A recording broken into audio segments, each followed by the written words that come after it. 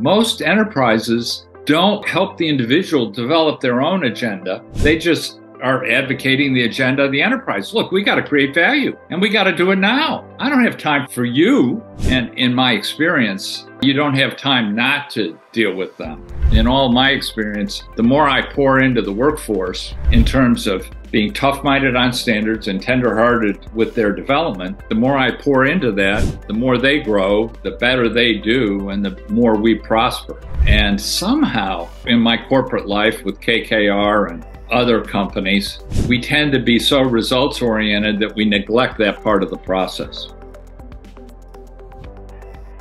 Welcome to the podcast where we explore the um, the art of value creation in three macro buckets: material value, emotional energy value, and spiritual value.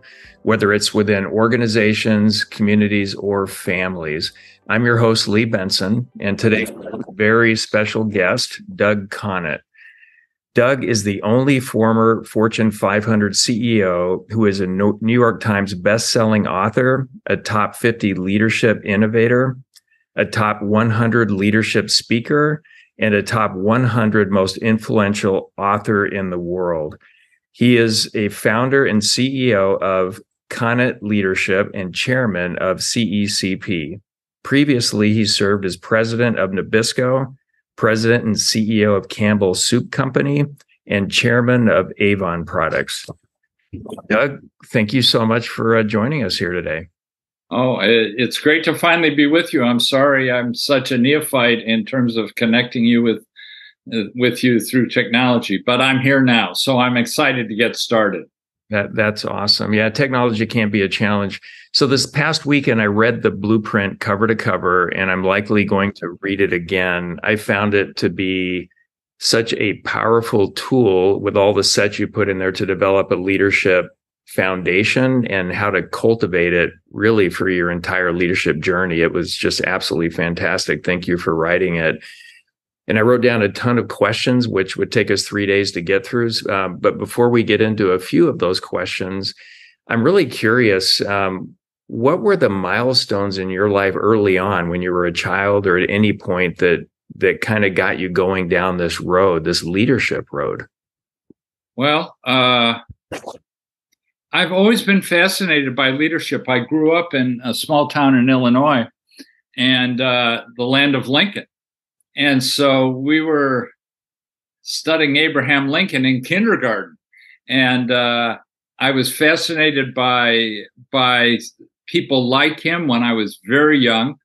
And then as I as I grew older, I was interested in sports. So I started studying uh, sports stars and leaders in the sports world.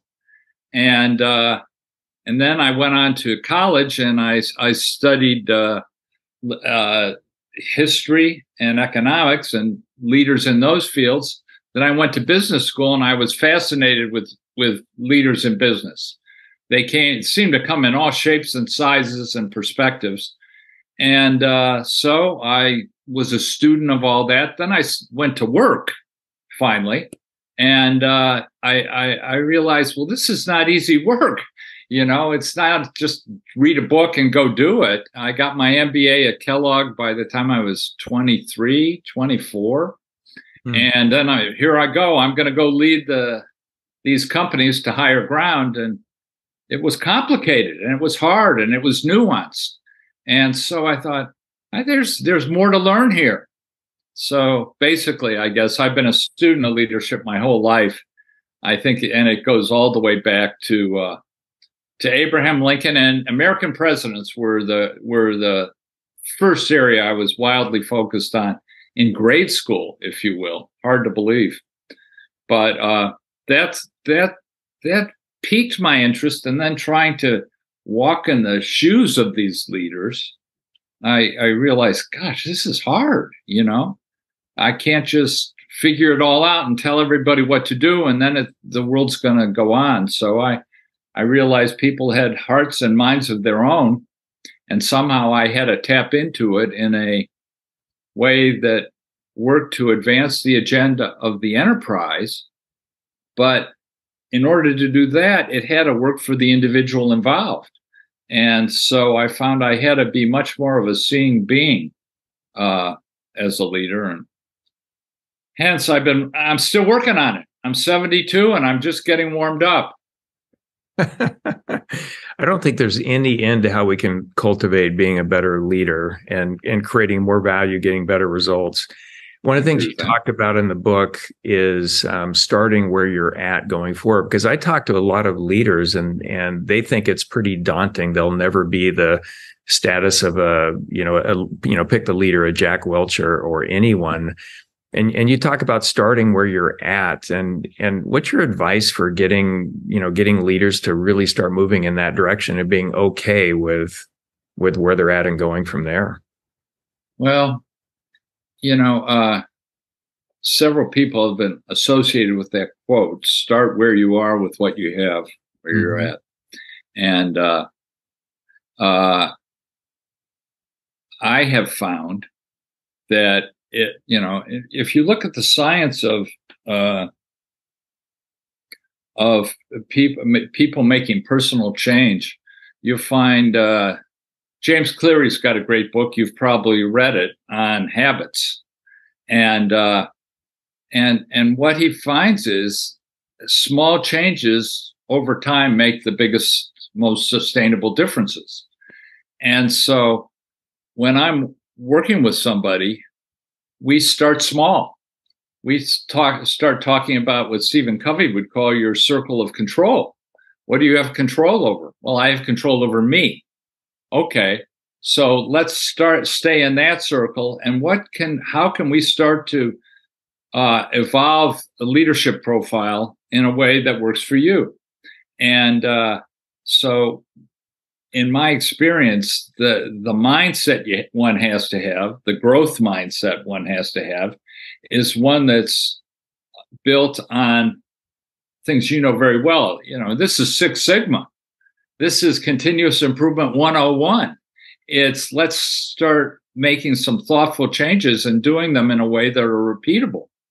And uh, so when I'm working with leaders, we start with where they are the next thing we do is we do a deep dive on where they've been.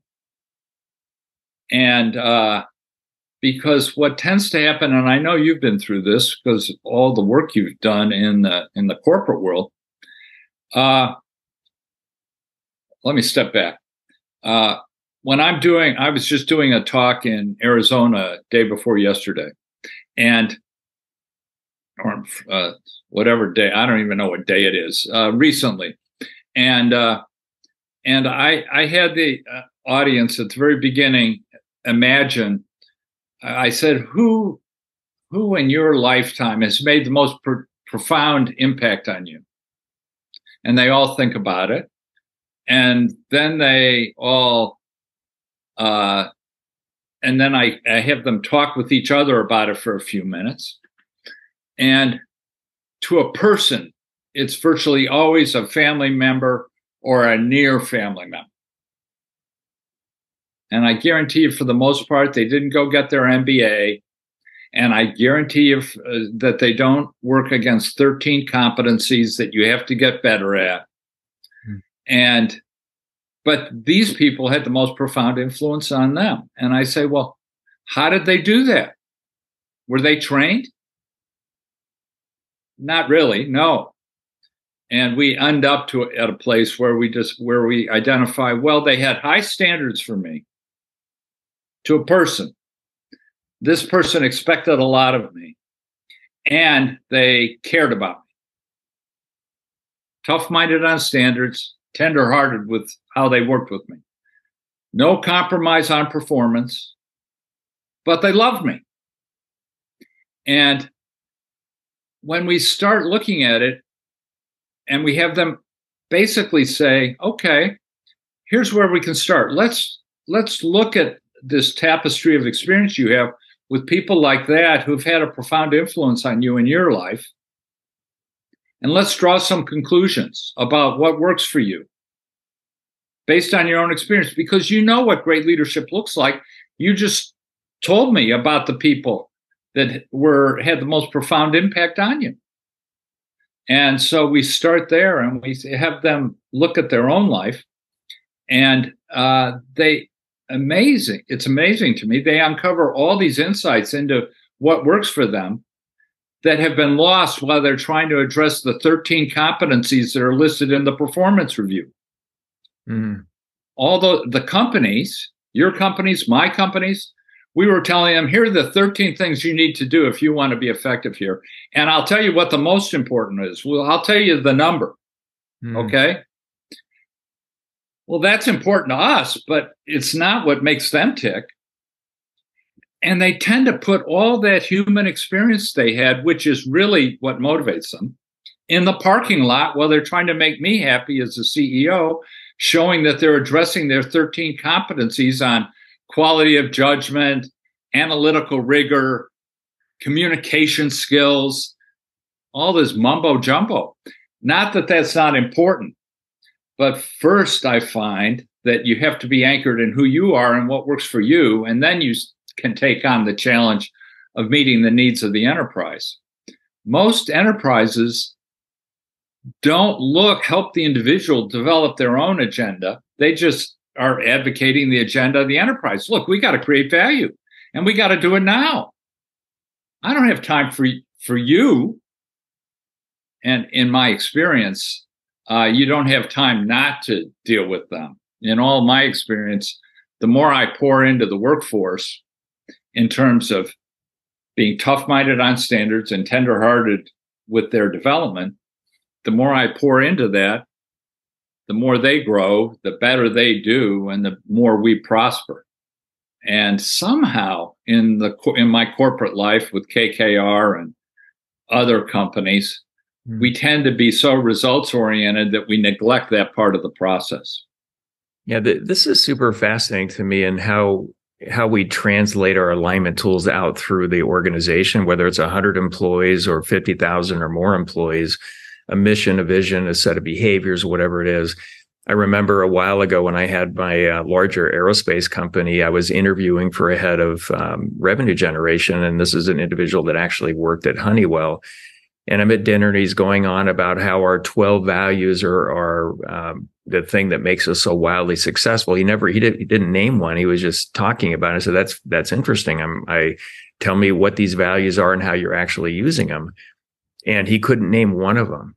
And I thought that was just incredibly telling. So I, I think kind of to your point, in in most organizations, team members are doing what they think they're supposed to do to make maybe their leader happy, follow the rules, whatever it is, rather than coming in with a mindset of I need to come in and create value every day. It's eh, which is way better than coming to work every day and saying I'm here to solve problems or do what I'm supposed to do. I'm here to create value. Yeah, and and I, I I subscribe to that, but I think that's incomplete to my way of thinking. Yeah. Uh, uh, it's not all about the enterprise; it's about them too. I need to feel good about creating value. You know, Stephen Covey had a great, a simple model for me, uh, which was basically Maslow's hierarchy, except he put it in simpler terms. He said, "Look, there, there, there are four levels here. And the Gallup organization, which does employee engagement, the Q12 survey and others, mm-hmm. uses the same basic model. But basically, he said, you know, there, there are four things that you got to be hitting on. You, they have to have good living, working conditions. They have to feel valued. They have to have opportunities to learn and grow. And they have to feel as if their role is special somehow because they're either working or thinking about doing work more than anything else they do, including tending to their families. And they're and and if it's not special, if it's not intrinsically meaningful to them, they can't sustain the effort or they won't. You know, if the conditions aren't right, if they don't feel valued, if they can't learn and grow, and if they don't feel as if it's special, not special for the enterprise, special for them and and we we seem to have overlooked the individual. They're just a per, a, a cog in a wheel. Hmm. Not true. I just don't buy it. The uh, the key to me is I think about it. Think of our old Venn diagrams in school. You know, we've got the or enterprise agenda. right? But then we have the individual agenda. And hopefully there's this wonderful crosshatched area in the middle where the individual is able to have self actualization and support the enterprise in a meaningful way. Too much of leadership these days is focused exclusively on the enterprise and then how we can manipulate the individual to deliver against the enterprise agenda. I don't mean manipulate in a bad way, but it's somehow we're going to influence their behavior. And that will work for a little while, could work, but ultimately they have to own their behavior.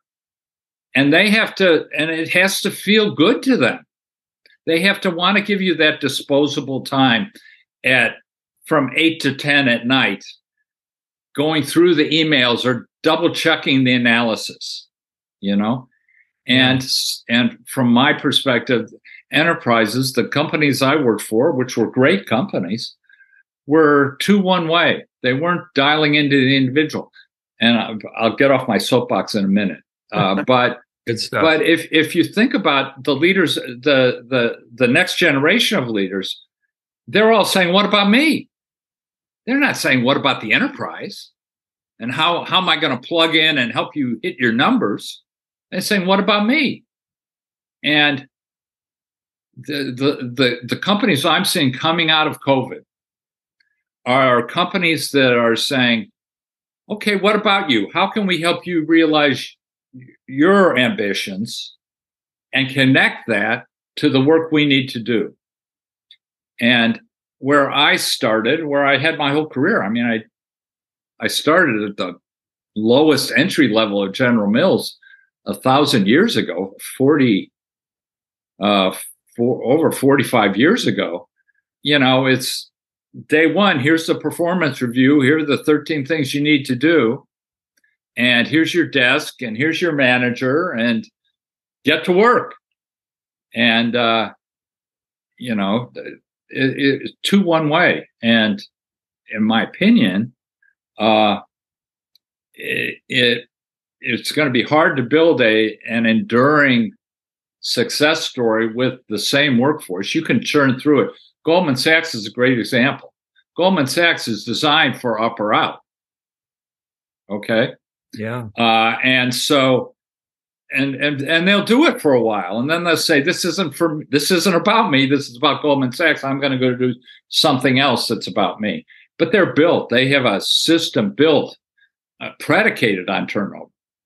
Uh, but the companies I've been associated with are companies that are very dependent on some modest degree of tenure. And uh, where people actually know how to get things done and uh, and have that inventory of experience that's essential to running a, a manufacturing company. And uh, so I, I, think we've got to rethink the model. I, I love your notion of emotionally and spiritually getting alignment because I think that's the place where we've fallen short. Yeah, I, we're really we're really good at at metrics. I mean, and and we could be better. Most companies could be better, but where they're falling down, my opinion, is not necessarily on the metrics. It's on getting the people to buy into the agenda and execute against the metrics. Yeah, 100% agree. And that's why I think about value creation holistically. So we mm-hmm. have the numbers, we have the results we're going for that way. We have the emotional energy piece of it, which drives the intrinsic motivation. And, and one of the definitions of being a leader in an organization that I use with lots of clients, and I've used in all seven companies that I've started, is that leaders get results and they foster an environment where every team member is intrinsically motivated and empowered to create more value over time and ideally, I want them all being the CEO of their own role. And so when people say all you care about is money, and no, it's mm-hmm. holistic. So it's the emotional yeah. energy. On the spiritual side, it can just be connectedness to the team. It could be pure love. I love the way you talk about that in your book. So that's mm-hmm. the that's sort of the the bigger, more complete version of, of value creation, and it's for all stakeholders, especially the team members. If they're all the CEO of their own roles and driving it themselves, um, I, I, I think that's the ideal situation, but also customers, shareholders, investors, you know, everything else that goes into that. How do you create that culture? And and let me let me set this up a little bit. I I okay. work with companies that are from startup, small, mid-size, um, some of the larger ones, fifty billion dollar plus market caps, and I'll ask, you know, so what do you do for leadership development? And and they have leadership development programs. They send them to offsites, uh, courses, et cetera. And I said, great. Well, how do the, what do the leaders think about those? And they say, well, they're, they think they're fantastic. Well, how do you know? Well, because we get surveys back. Well, is there any connection to the leadership development that you're doing and what you're spending on that time and other resources to moving the metrics? And yeah. 100% of the time they say they don't have anything. And Jack Welch and I used to talk about this and mm-hmm. and he said and I agree 90% of leadership development dollars are wasted. What what do you how what's your advice around that? How do you cuz you you're like it sounds to me like you really got on the front lines and and moved the needle here. How do you do it right versus cookie cutter approach that most people go after? Well, first of all, I would tell you, I think it's the CEO's job, not the uh, CHRO's job. I mm think the CEO has to be the uh, chief uh, people person. I think you have to own the talent, eh, have the mental model of how you're going to attract, engage, develop, leverage, and retain the talent. And uh, obviously you have a bigger job so you have the chro has to be your partner in crime uh, carrying the flame for you when you're doing other jobs.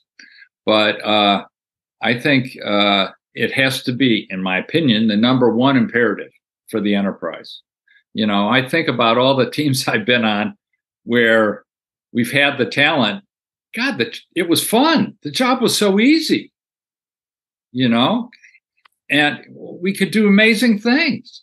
And then on other places where we were struggling with with talent gaps, God, it was a nightmare. Mm. And uh, so, uh, and then, and I'm sure you realize this when you, as a CEO in your multiple companies. I realized when I became uh, CEO of Campbell, which was an old economy canned soup company. Let's, it was being compared to a buggy whip. All right. We'd lost half our market value in a year. Uh, we were headquartered in the poorest, most dangerous city in the United States, Camden, New Jersey. We were we had operations in 38 countries, so we had all kinds of complexity, and uh, uh, and I realized when I'm sitting in my corner office that of the thousand decisions made every hour in that company, I was out of the room for 999 of them. I was totally dependent on the workforce, totally dependent on the workforce. And I quickly learned that even if there was a decision I should have known about, by the time I would hear about it, it would be repackaged like so it made sense, even if it didn't. You know, eh, you quickly realize, well, I can help guide the ship. I can we can nail the strategies. There are all kinds of things we do do as CEOs, but ultimately we are totally dependent on the workforce to get it done, and they have to be able to. Today, when I when Jack was running GE, I, I too knew Jack, and uh, we were in a hierarchical, militaristic kind of world where if you didn't know how to do something, you go talk to your boss about how do I get it done. Now these poor people that are working on these in these crumbled uh, hierarchies with that are flattened and have way too many direct reports, your manager doesn't know how to do it. You got to figure it out on your own. You're on your own, and it's the Wild West with all the churn that's going on right now. And so your anxiety is going to be at an all time high as a contributor with all the churn and the risk and everything else. And the enterprise's ability to actually help you do your job is slim and none. Hmm. Uh, and so, what do you have to, how do you persevere through that? I believe you have to fundamentally believe the company has your back. And that, you know, even if you can't make this decision, we got your back and we're going to find our way through this. There's got to be a new level of trust. There's an imperative of trust that was a nice to have before when everything was clear and you you had your KPIs and it, uh, the world was simpler. But now it's you know it's what do they say a VUCA world, volatile, uncertain, complex, ambiguous. Yeah, yeah. And now it's a BANI world, new new culture. Every generation needs a new word. So the new generation has BANI, B A N I, brittle, anxious, nonlinear, incomprehensible, which is basically a VUCA world on steroids. And in that environment, there's this premium on building a, a trusting relationship with employees that says, I do care about you. And I've got to manifest that in new ways today, not in the old ways. And it's got to be around probably your learning and development because the world is changing faster. I have to help you learn and grow or we fail. So there's something about uh, making extraordinary commitments to learn, learning and growth and building trusting relationships that when I started were nice to haves. If you wanted really good talent, because mm-hmm. good talent would persevere through it. But if you want a top notch talent, now if you want any talent, you got to have that. It, it, at least that's my perspective. The game's changed. The game's changed. Yeah, it, it really has. One, of the questions that I like to ask um, a leader in any organization is how do you create value for the for the company, the nonprofit, for profit, whatever it is. Yeah and typically i get a job description i don't i don't get something that's really concrete and right. i think that that adds to the problem and i'm i'm really big on an intentional operating methodology to create value faster and faster yeah. and mm-hmm. that every team clearly understands what that is um, because without that you you need a whole army of stars to make it work and that's a pretty small percentage of the population it's you you, mm-hmm. you can't do that um, so, what, what are your thoughts around an, an intentional way of creating value that every single team um, can can align with, and, and, then it you know gets a much, in my opinion, a much higher percentage of folks to perform, you know, solid yeah. performers or even like stars. But what what about an intentional operating methodology that permeates the entire organization? Is that reasonable in your view? Well, I think it is, but I think it's like I, I I think it's incomplete for today because what I think is missing is there's not an int- which is why I wrote the blueprint. Yeah, is there's not an intentional operating methodology for the individual. Uh, they're trying to plug into the enterprise operating methodology, but they don't have their own. And and in order to weather the storm and all the uncertainty and the anxiety, they got to be really well anchored in how they want to show up before and then figure out how do I plug in to the operating methodology of the enterprise. And what I'm discovering is very few people are prepared to plug in. Uh, from what I know about you, you were ready to go. You were ready to be plugged in. You were really well anchored on what you thought and you believed and i'm sure you're more anchored now than you were then. But but uh if if you've got the you know what what are they talking the other day? I was saying you know uh somebody asked me about courage today courage. Yeah. and and how do you how do you have courage and I, I i found myself saying to them well you know, clearly you have to have the courage of your convictions.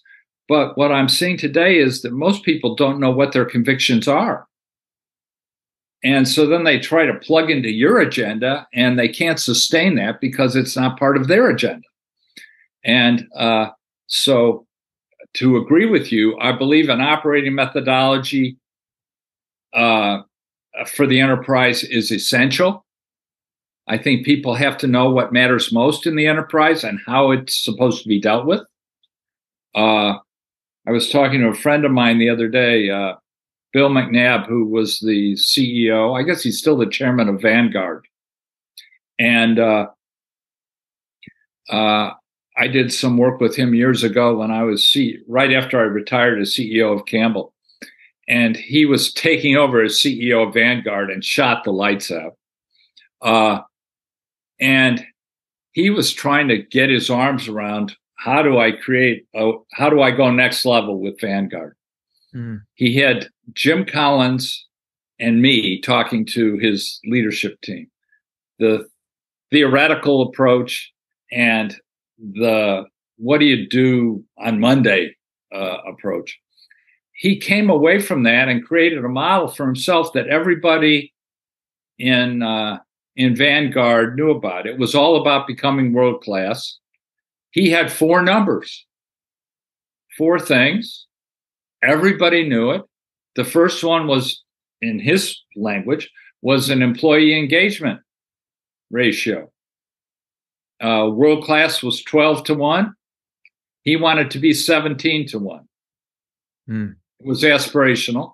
And there were, and, but employee engagement was job one. Then performance was a byproduct of that sort of.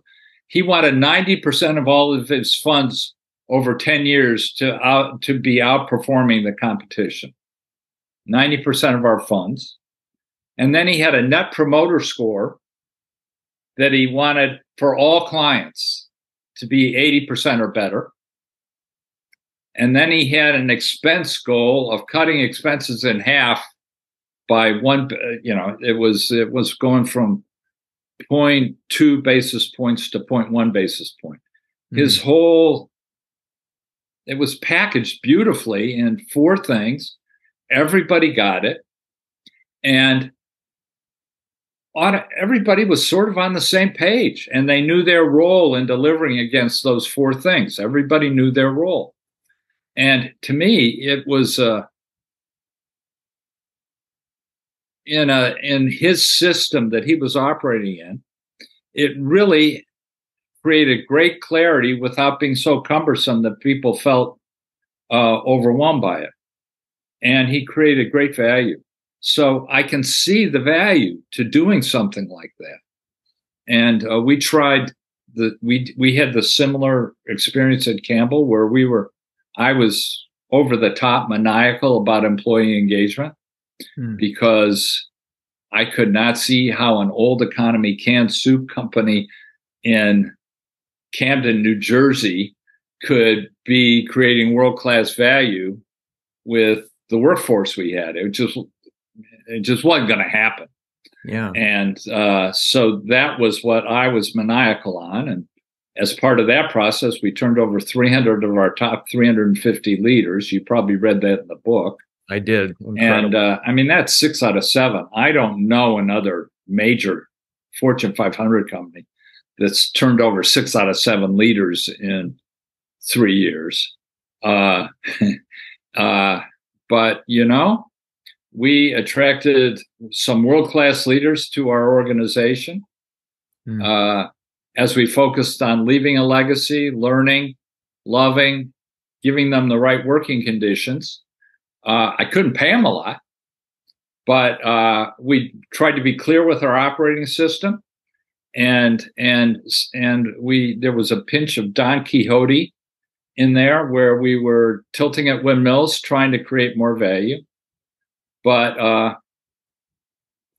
there, we had a lot of leaders that drank the Kool Aid. I'll tell you, I was very gratified this week. Forbes uh, uh, published, or maybe it was last week, uh, in the Fortune 500, the companies that created the most CEOs, the top 25 in the Fortune 500. Hmm. And I'm telling you, when I started at Campbell, which would have been 22 years ago, we would have been lucky to be between uh, above 500, given where we were, where we had been for quite a while. We are now in the top 10 of all Fortune 500 companies 20 years later hmm. at creating CEOs from an old economy canned soup company. Uh, and we're the number one food company. uh, I was just uh, trading uh, emails with uh, my old friend Bob McDonald, who was uh, chairman CEO of Procter and Gamble. And they're always in the top ten of this thing, and uh, he's he's like two places ahead of me. And I I told him he better look out because we're coming for him. but uh, you know, I believe the place to lean into is in the emotional and spiritual relationship we have with employees. That's where the leverage is. We got to be disciplined on how we execute. Not saying that. But to me, the greatest point of leverage, I always felt I could get two more points of growth, two better points of return if I connected one level deeper with those employees. And, you know, for 45 years, it worked. Now, we didn't shoot the lights out. We weren't, we, you know, I was dealing in an industry that was three yards in a cloud of dust. Uh, and so it was a mature sector consumer sure. products, large companies. But uh, I, I found that if if if you leaned into the human element while you always focused on having a disciplined system, you won. And the the places that were looking for the quick buck, that were focused exclusively on the on the outcome and not on the process, were they could have a good year, but they could did not have a sustainable proposition. So uh, yeah, I don't know. Anyway, yeah, that's my couple thought. Of, yeah, a couple. That's uh, that's excellent stuff. The the uh, couple things that jump out. One is engagement. I always ask the question, engaged with what? Uh, because a lot of surveys come back where they just ask team members, are you engaged? Oh, yes. Okay. Well, you have high engagement. Engaged with what? Yeah. yeah. And so for me, it's engaged with value creation. So talk more about that. Just go a little bit deeper. Um, it, everything you did worked. I mean, the results were fantastic. So you got the right engagement, whereas most larger companies, they have a survey and check a box and move forward. How did you do it differently to really get it right? Well, uh,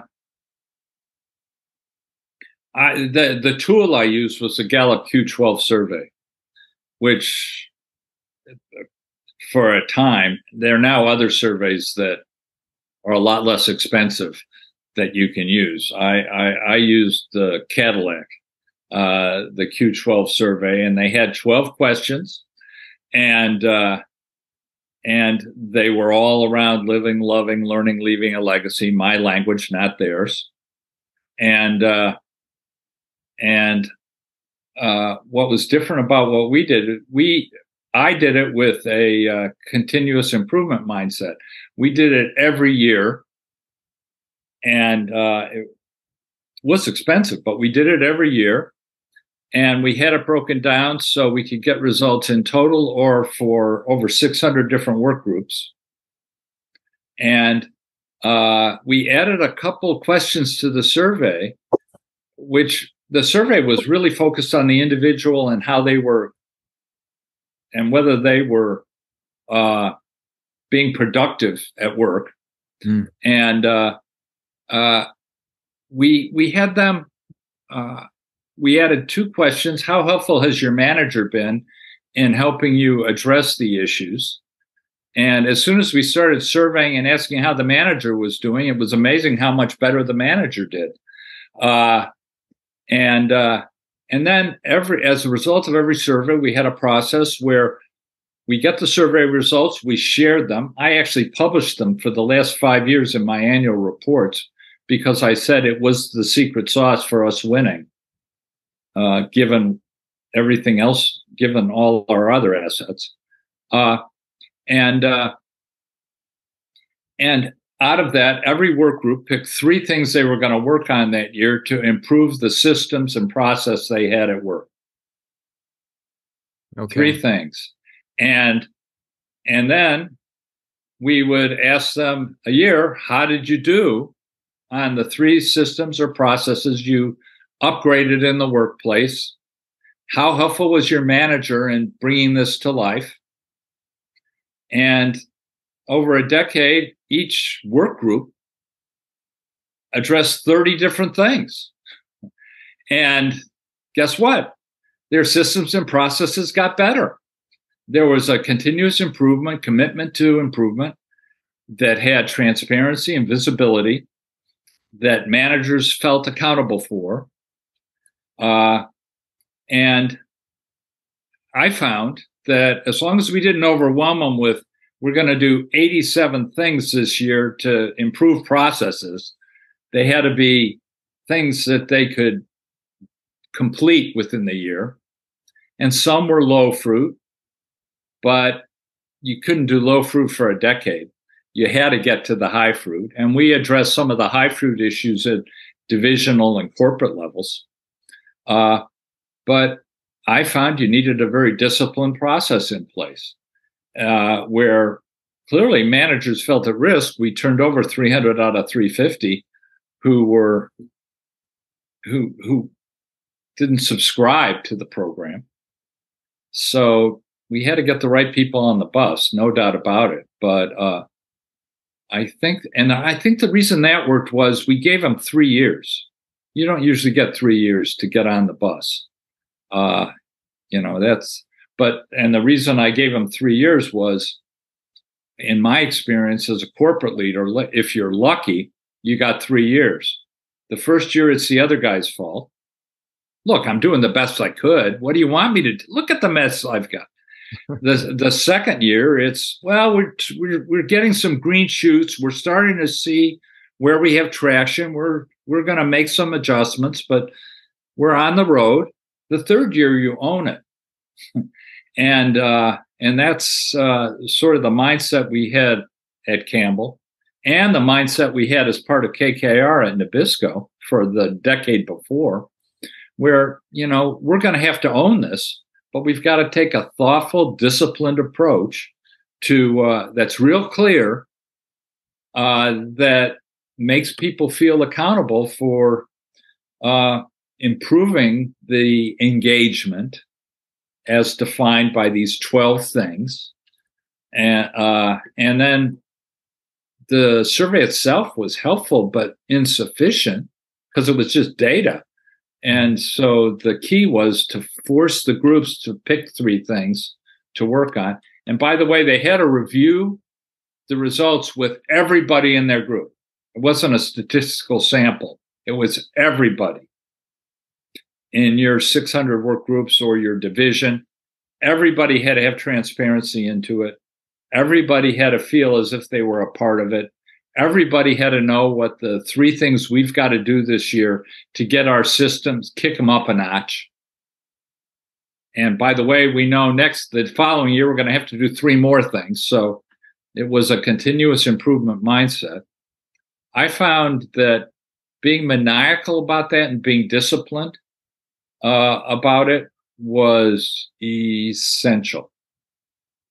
I'll, I'll tell one other thing.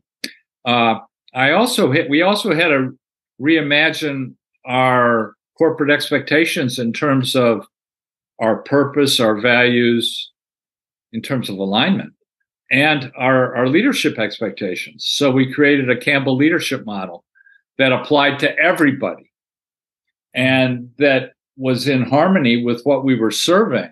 And the number one expectation of our leaders was you had to inspire trust. Uh, it wasn't results, it was inspire trust. The sixth expectation of our six item wheel was produce extraordinary results.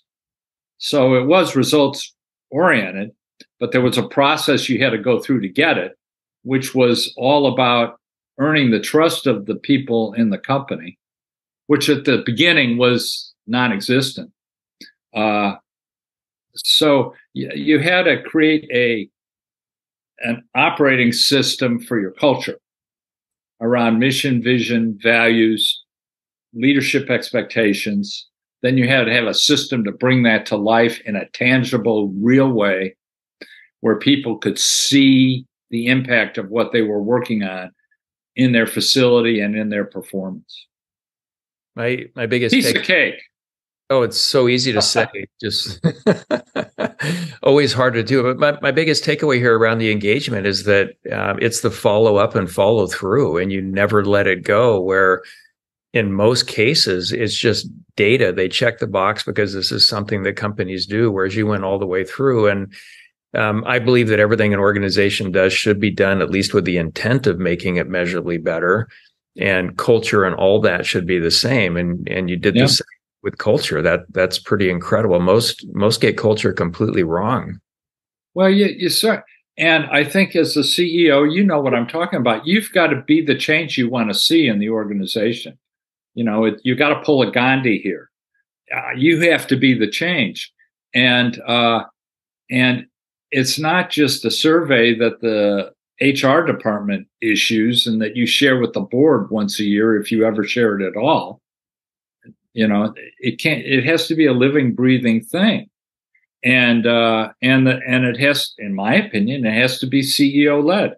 I I I admire Jack so much for creating Crotonville. You know, that was Jack's thing. He uh, for for uh, GE. I mean, and, and it, it's a place, and it had to get better. And my old professor at Kellogg, Ram Charan, was his partner in crime when they did that. It, it had to be modeled from the top down, and uh, uh, and I think a, a, leader or a group leader has to do that with their group. And you got to be relentless, you know? Uh, I remember when uh, Jim Collins, uh, I, I, did a fair amount of work with him over the years. And Jim, when he did his level five leader work, uh, found two distinctive characteristics about level five leaders, the ones that had taken their companies for, to being good to great over two decades, uh, which is was sort of the model I was on with an old established old economy food company. Mm. Um, uh, and he found the two distinguishing characters. First of all, he was shocked. He did never heard of any of the people that actually rose to the top. He did. He did. He didn't know any of these leaders uh, that were running these companies. He was shocked. He said, "I got to do some work on this," and and and then as he did the work, he found two distinctive characteristics in a level five leader, based on good to great. One was humility. It's like I don't know all the answers, but the other one was perseverance. And he he he, he used he used another set of words. He said, "Fierce resolve." They never let it go.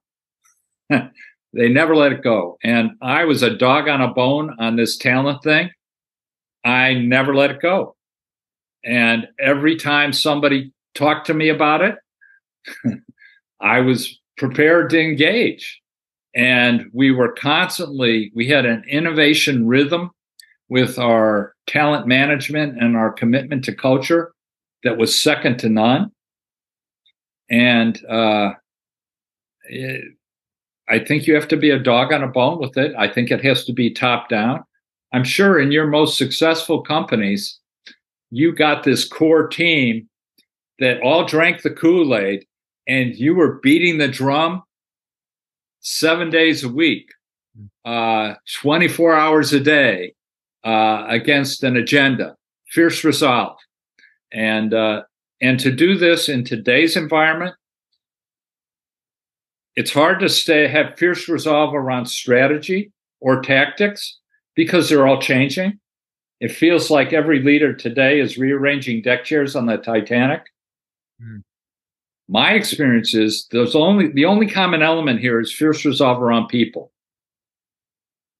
About 15 year, 20 years ago, McKinsey did an article. Uh, it was on the, the article was there's no true competitive advantage. And then they asserted there is, well, there is one. And the the competitive advantage was organization agility.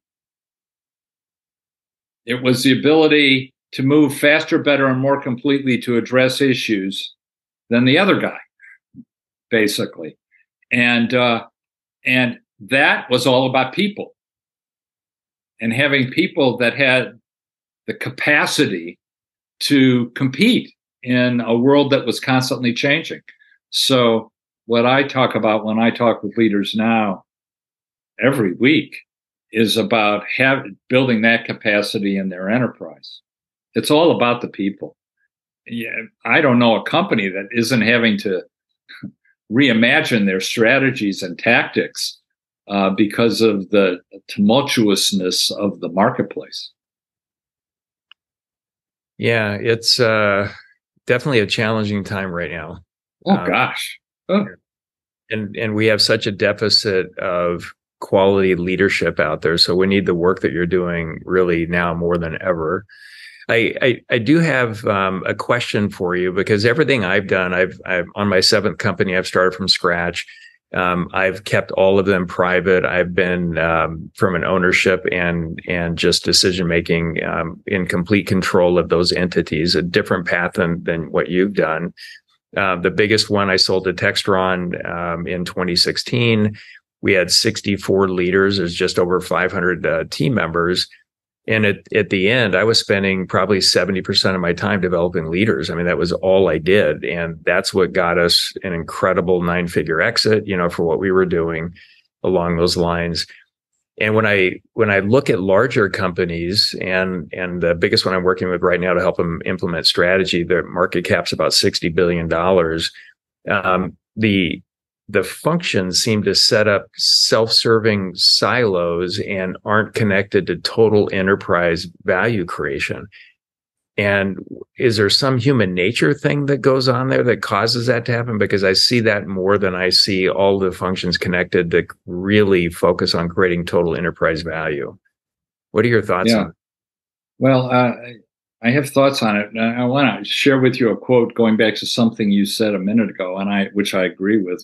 There's a dearth of good leaders uh, when we need leadership the most. So I agree with you. And uh, one of my friends, Stephen M. R. Covey, has been quoted as saying, "The world is overmanaged and underled," and uh, and that's the way I feel. Uh, I'm not saying it's well managed, but it's overmanaged uh, against questionable agendas. But um, uh, yeah, uh, I think the enterprise, these companies have to have a compelling, the language now is purpose. They have to have a compelling purpose that transcends the agenda of the function or the or the division. Uh, I'll use a bad example, but it's an example I can speak to. When when I was at Campbell, uh, we were 38 countries. We were the world's largest soup company. We were also the world's largest vegetable ba- juice company. We were also the third largest baked snack company in the world. So we, we weren't just soup, but uh, uh, we were in 38 countries. And you know, I had a fr- I had the French, I had the Mexicans, the Canadians, you know, and there were probably 500. There were 500 or a thousand of our teammates in each one of those companies. So the complexity was off the charts. And uh, what we found we needed to do was to develop, at the time we call it a mission, a compelling mission that uh, sort of set, that brought us all together.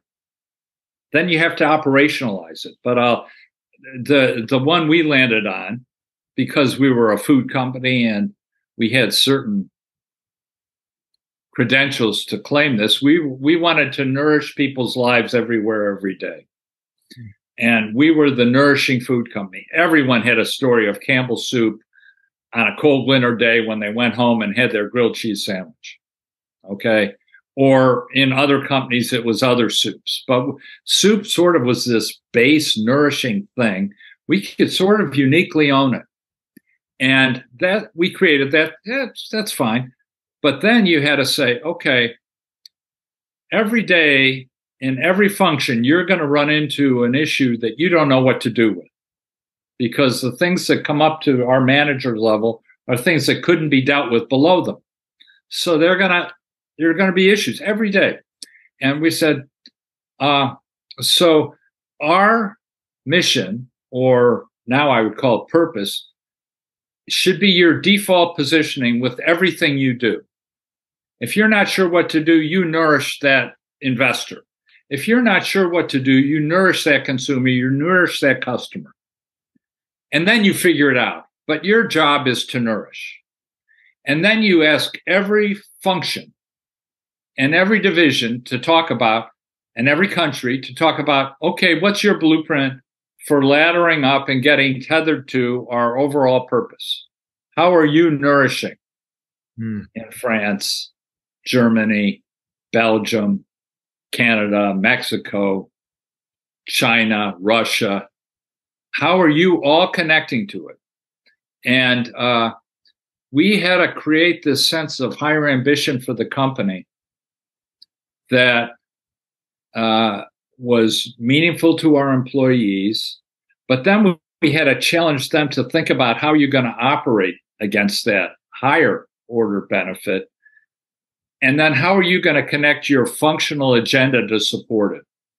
Hmm.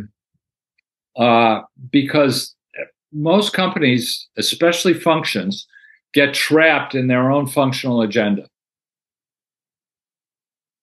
And we had to find a way to break the logjam, break through. So we said, well, that's fine. That's what you need to do to manage your function day to day. But there's a higher calling here, and you need to be part of it. And so we we went to the purpose, the mission, but then we developed a process that drove it down into the functions, into the countries, into the divisions, and we challenged them to operationalize it. It works if you create a higher calling. If you're just trying to get them to change what they're doing, hmm.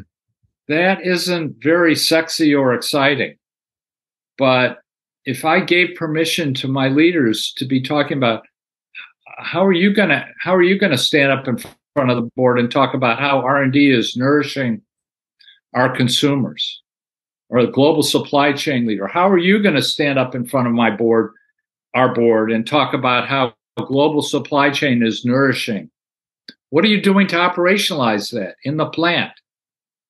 How are you doing that? Uh, and by the way, are you nourishing the employees through our culture building efforts? So I encourage companies, especially large companies with a lot of complexity, who ha- want to be the change. You know, I, I say it has to be top down. I think you start at the top I'm sorry, I'm waving my arms around. You can't see completely, but you see me waving. Anyway, you start at the top with a compelling thought, and then you drive it down into the organization and challenge the organization to plug into it. And you can have your group co create it at the top. In fact, you probably need to, but it needs to be sexy and exciting. I mean, I found if it's just you know, if if I was just dealing with my investors, sexy and exciting would be total shareholder returns better than the peer group, you know, by some amount. Right? Yeah. But if I want to make it sexy and, and exciting across the enterprise, it's something else. It's got to be at a higher order, nourishing. And there may be in investor relations, we're going to talk about how we're nourishing our investors by by outperforming the peer group in terms of total shareholder returns on an average three year rolling basis or whatever it is. Yeah. Well, I really like how you're connecting all of that and sort of forcing the the value creation to connect to the greater purpose, if you will, at the top. And it just doesn't, I think, allow them to stay in silos. It forces them out of that to cross functionally collaborate, uh, contribute to total enterprise value, the purpose, again back to total value creation material emotional energy and spiritual. I think i think it all has to go in there and i think everybody plays in all three buckets. Well i and i do think you know the old model was uh, when i started was uh, the ceo and the executive team figured out the strategy and then everybody went and executed it. You know that's i'm oversimplifying obviously yeah. but uh, today it really doesn't work that way. Uh, it won't work that way with i I don't think, and unless you're in a unique, smaller enterprise that's got a very specific focus, uh, uh, you know, if you if you're in a large enterprise, or even a medium enterprise, it's got to be top down. It's got to have an element that's aspirational and a higher calling. It has to transcend the ordinary. And it probably has to not just speak to the financial returns, but to societal returns mm-hmm. or stakeholder returns. And then part of that is shareholder returns. Uh, but it, and it has to be led top down in a, uh, it's not going to happen bottom up because the functions and divisions are going to just do what they always wanted to do anyway. So it does take real leadership, and who's ever working with you is lucky to have you helping. Well, thank you for that. And and Doug, if people want to learn more about what you're doing, um, how can they find you? Uh, just go to conantleadership.com. Uh, I don't get paid for any of this. I, uh, I, I charge for a few things to just cover our cost, but I don't take a salary. I'm just trying to help build a better world, and uh, I have points of view, which you can obviously tell, and uh, so we're just here to help. And if they go to conantleadership.com, they'll they'll find they'll find out they'll learn more than they ever wanted to learn about what we do. Yeah, that's fantastic. We, as we talked about, we need capable leadership today more than ever. It seems like leadership on average is getting less capable and even potentially less moral. So thank you so much for what you're doing. Well, and uh, and thank you. You're out there doing the same kind of work, trying to lift the leadership profile and we you know i believe the people we're working with the young next generation leaders they have an appetite to do this the right way. They just need help. And uh and they they have things i'm learning from them too. It's not just me sharing my wisdom with them. I although i i do believe i have something to share but i'm learning from them as well but they have an appetite for this we just have to help them and uh, and learn from them too. I, I, agree. I work a lot with organizations. In my latest book, which is Value Creation Kid, it's about operationalizing value creation within families, and it's in all three buckets. And I'm yeah. finding the the language is resonating with really young kids. Yeah, I, I bet it is. I bet it is. I'll have to. I haven't seen that one. I'm going to have to go to. I got to do a little more homework on you. I did some, but I got to do more. I'll uh, I'll send you. The- All right. Well, thank you so right. much for listening. And uh, I'm Lee Benson, the host. And if you can, please rate and uh, leave a review for this podcast. And until next uh, next time, uh, go forth and create value.